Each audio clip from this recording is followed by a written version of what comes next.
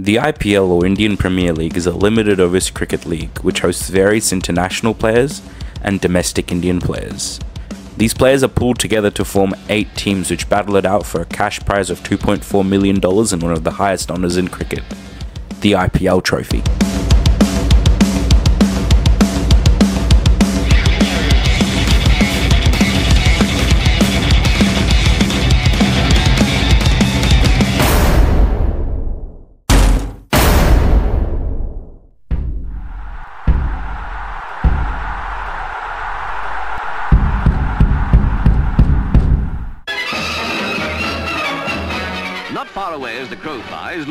With the second test match in full swing as Australia takes the field after lunch. Cricket historically has been a game which is played over five days, which today we know as the test match. Matter of fact is we stumbled and tripped into what is our definition of cricket today. Since the first limited overs game would not have happened between England and Australia in 1971 if the third game of the Ashes had not washed out completely. It is a splendid game. It's different to a test match or a state game. Uh, there's more involved. There's more tactical operations. There's more alertness in the field, a better running between the wickets. Generally, it's a spectacle. A spectacle. Two out of three games in the Ashes of 71 resulted in dull and stagnant draws, which caused frustration amongst cricket fans. Jenner the batsman, and into that bat. Jenner is on the ground, and Illingworth is with him. And the But just how a fish jumped out of water, kick-starting years of evolution, rain this time evolved the game of cricket. The first one-day international game was a compromise. So, to appease the crowd and recover some of their losses, Australia and the MCC agreed to play a 40 overs a side exhibition. The first one-day international game was a compromise. A compromise between the cricket fraternity and the general public.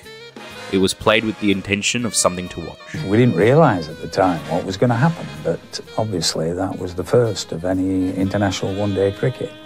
We went and bloody lost. That match is now recognised as ODI number one. MCG catering staff at the time were told to prepare for a crowd of close to 20,000 patrons. 40 overs and 46,006 people later, a light bulb went off. Limited overs cricket internationally can be successful.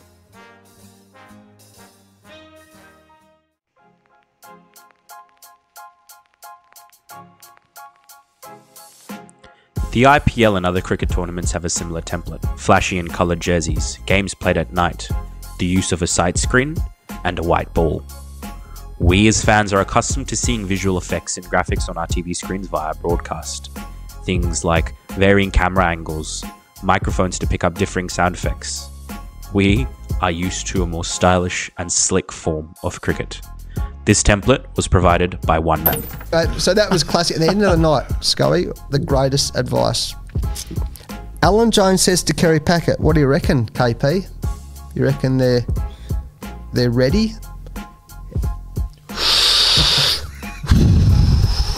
He goes, "Yeah, I reckon they're ready." We listen, listen. He goes, "Boys, in this life, as long as you know who you are, and your friends know who you are, the rest can go and get fucked." Kerry Packer. Packer, an Australian media tycoon and cricket fan, I'm here looking at the cricket. offered Cricket Australia, or then the Australian Cricket Board, $1.5 million for the broadcasting rights for his TV channel, Channel 9. open system where the match goes simply to the highest bidder. Well, I tried that system and the ABC got them on a quarter of the price, didn't they? After losing the bid to ABC, which is the federal Australian broadcasting channel, only because Cricket Australia felt a sense of loyalty to them, even though their deal was only 14% of what Packer was offering, Packer decided to form his own league called the World Series Cricket, a league where all of the world's best players come together and face each other. That sounds familiar, doesn't it? Packer's World Series Cricket played an ODI game, causing increased popularity of limited overs cricket, while simultaneously proving that limited overs cricket can be financially viable and that players can make a career from cricket.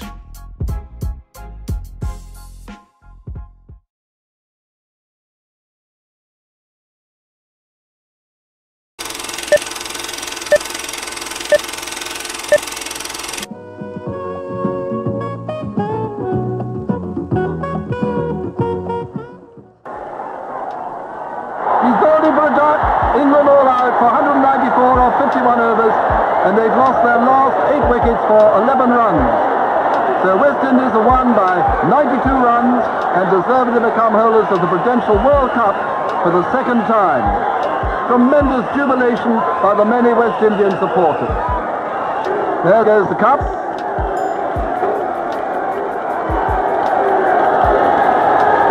West Indies have won the second Benson and Hedges World Series Cup final by eight wickets. They take the cup, having won the first match in Melbourne on Sunday by two runs in a thrilling encounter. Great batting from Greenidge and Richards for this crowd of 20,840 people. An underarm. We haven't believed it. And that's a disappointing finish. Disappointed Brian McKechnie, the crowd boo. And it's all over.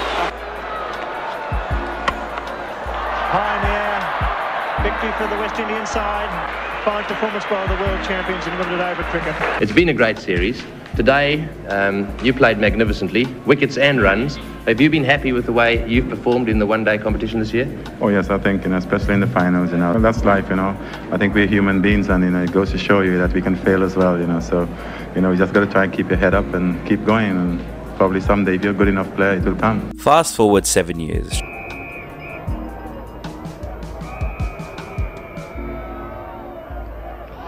That's out. Yes, it's all over this time. And India had won the ODI Cricket World Cup of 1983. Tremendous victory. And they've beaten West Indies twice. They've beaten Australia. They've beaten England.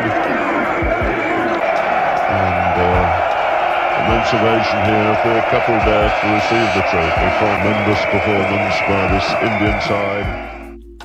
After BCCI president then NKP Salve was disrespected by the English Cricket Board and was refused two passes for the final game, a fire of bringing the World Cup to India had been born.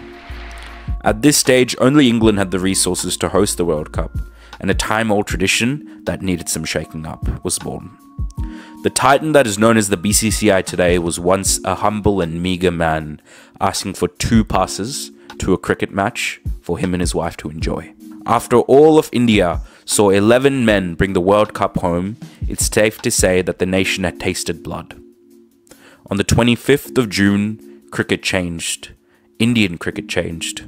India changed. The hype of the win caused rapid growth within India of things such as coaching centres and state and zonal based cricket academies, like Delhi. This also saw Indian media cover cricket far more than it was before. मेरी girlfriend से पहले बार मिला कौन सी girlfriend Amrita है नाम Additionally, the National Cricket Academy, or the NCA, a staple for things like rehab and training, even seen today, was formed. A new India had started to bloom, a new psyche, a more resilient India came with Kapil Dev's men. A younger generation of players, which include legends of the game like Sachin Tendulkar and Rahul Dravid, wanted to pick a bat up and play the sport. And always back myself to do well. But to end up as the highest scorer in the World Cup, I think I did surprise myself there. The 1987 World Cup, held outside of England, was one of the sport's most successful. Picked up on the deep cover boundary by Veletta. They take two and listen to the acclaim to be cheered by 90,000 spectators at Eden Gardens, Calcutta, and take your first World Cup. That is Australia's joy and England's misery. Well, not just misery is the right word because this match has been played in tremendous spirit. Not a financial success, but it allowed for people to dream of a decolonized version of cricket, one that every nation could call theirs. The BCCI had entered a period of financial turmoil from this World Cup and other games. India's saving grace? Broadcast TV. It's funny, the comfort of the television evolved and even saved the sport more than once. Before 1993, the BCCI needed to pay India's national broadcaster, Doordarshan, to air their games. This, however, changed when in 1993 the board for the first time sold their rights to Transworld International, now forcing Doordarshan to pay.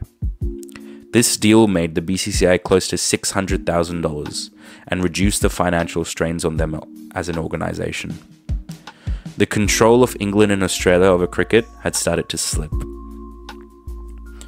Multiple parties in broadcast now recognise that tournaments can be financially lucrative, with the BCCI signing an $11 million deal per year with Doordarshan for the rights of airing Indian cricket.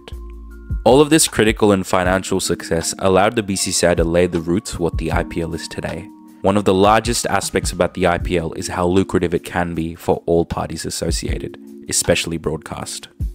This would not have been the case if India had not won the 1983 World Cup, and the IPL simply would not have been a reality if not for the class of 83. You just described it. You said it goes on for seven days straight with no points and no goals. That sounds like a torture camp to me. Tell me which other game in the world lasts for five days and can result without a winner? Which game's shortened version lasts eight hours? More importantly, who can take five days off, or even a whole day off to watch a sports match? An elitist, boring, and long running game were the chief complaints of the public when marketing executive Stuart Robertson was doing market research as to why English viewership was dropping from watching county cricket. He found three key items in his unprecedented research. 1.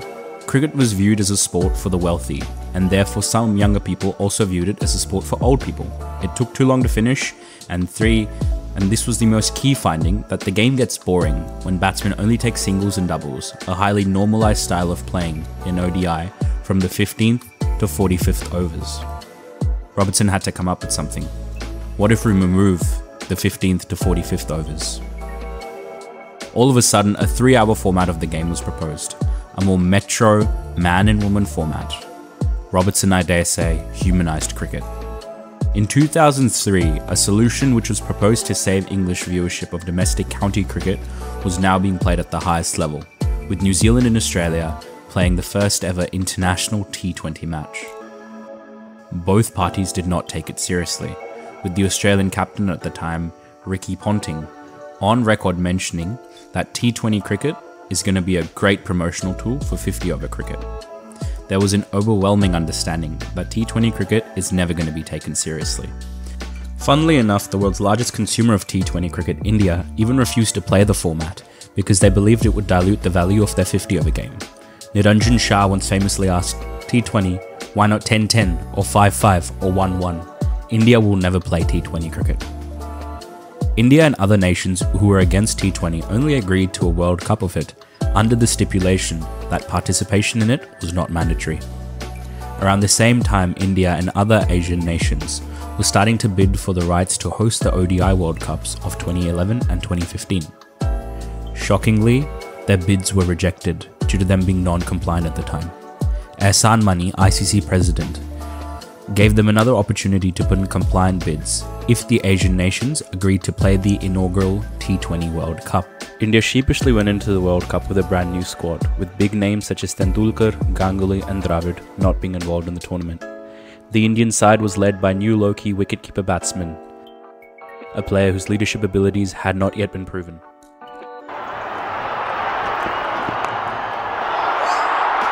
In the air, Sreesanth takes it! India win!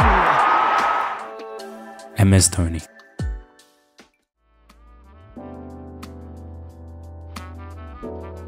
No one expected it, but the stars lined up for the BCCI again. India, to everyone's surprise,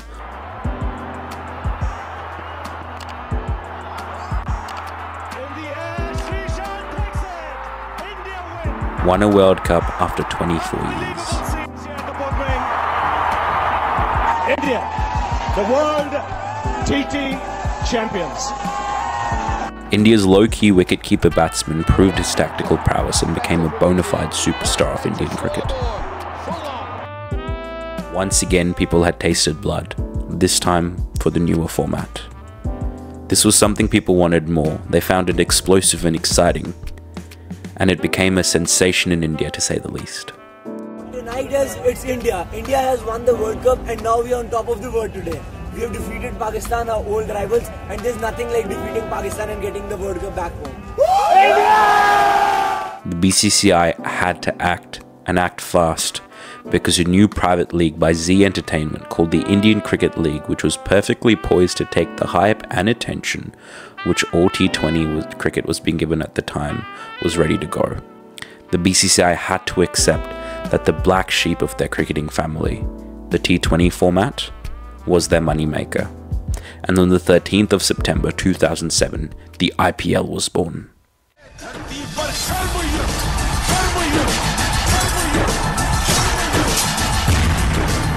DLF Indian Premier League पेश करते हैं cricket का कर्म युद्ध आठ टीमों के बीच धुआंधार लड़ाई the young and ambitious vice president, whose brainchild the IPL is, was appointed as its chairman and commissioner. I see no reason why it shouldn't be bigger than the Premiership uh, in, the, in the very near future.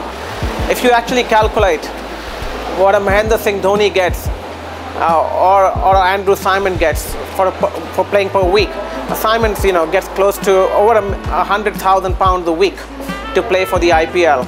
I think there are very few English uh, Premier League players in the world that get a hundred thousand pounds a week to play for the English Premier League. Let's see how Lalit Modi changed cricket forever.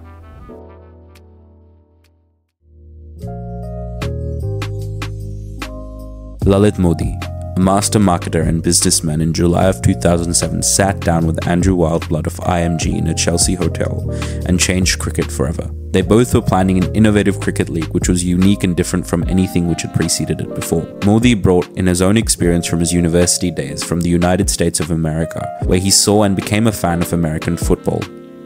Displays of extravagant crowds, loud music, announcers, and cheerleaders were all something he wanted in his own league. In 96, Modi had actually proposed a similar concept of an intercity ODI cricket tournament, but was shot down by the BCCI. Modi understood the daunting task he had in front of him.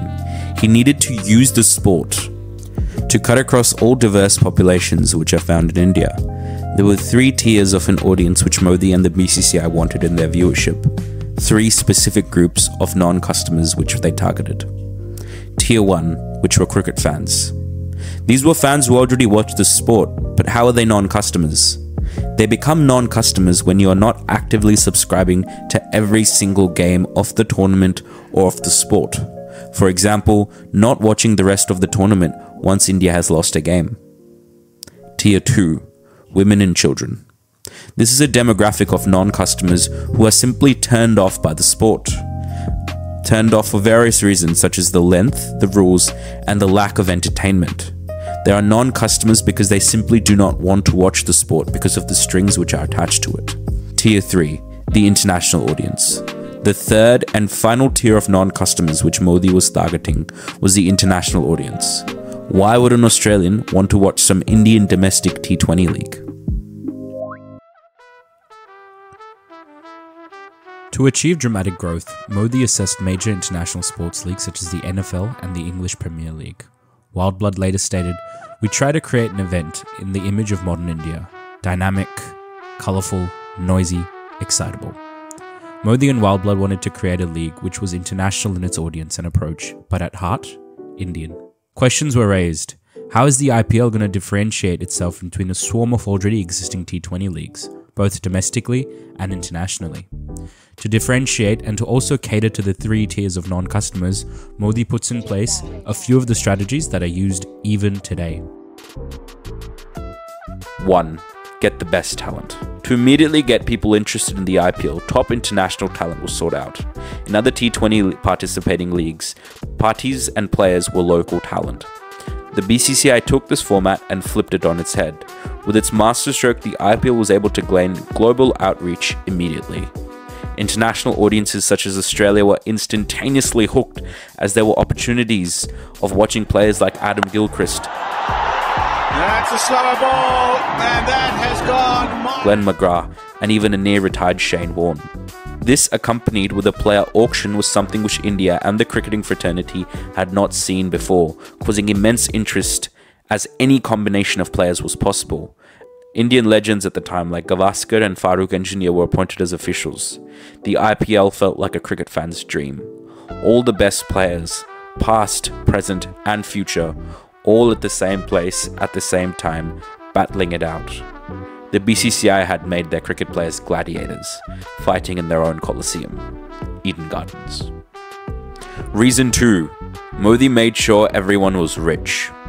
One of the reasons the IPL creates so much hype is because of how much the payers and other associated parties are played. This compensation also comes and brings the best talent from all corners of the globe, which is a breath of fresh air compared to what the stereotype of cricket is at the time of not being paid well.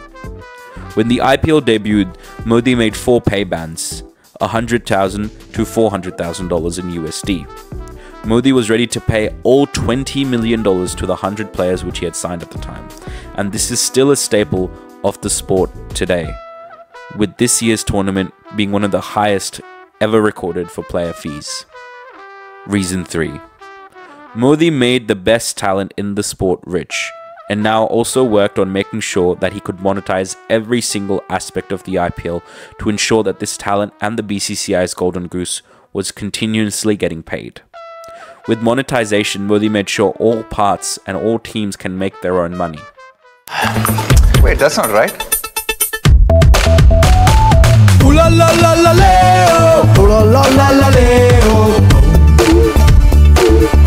La la la la ooh leo. La la la la leo. That's got a nice ring to it.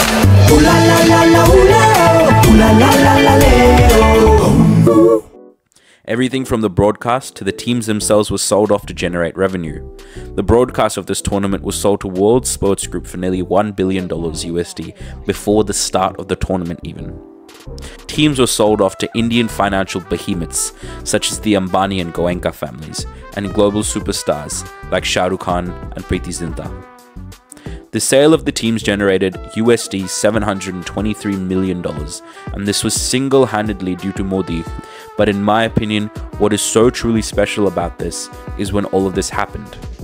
As Modi was able to sell $723 million worth of teams three months after the 2008 financial crisis.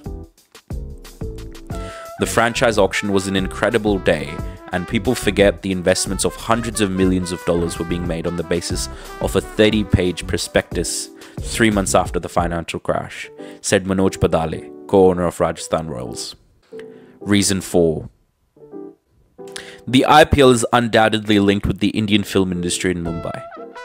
This, when the tournament was starting off, was not a strong connection, rather a planned arrangement by Modi other stars of the industry created promotional videos for the league, with some coming even to watch the games to generate ambiance and increase the popularity of the games by getting stars.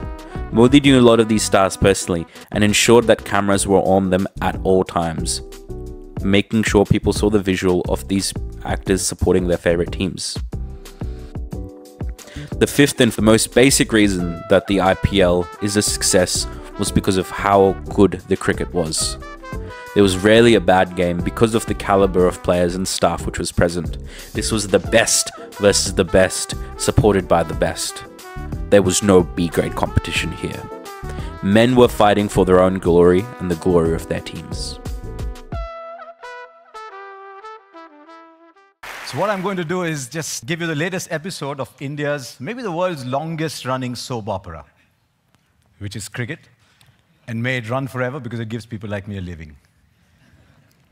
It's got everything that you'd want a normal soap opera to want. It's got love, joy, happiness, sadness, tears, laughter, lots of deceit. And like all good soaps, it jumps 20 years when the audience interest changes. And that's exactly what cricket has done. It's jumped 20 years into a 20 over game.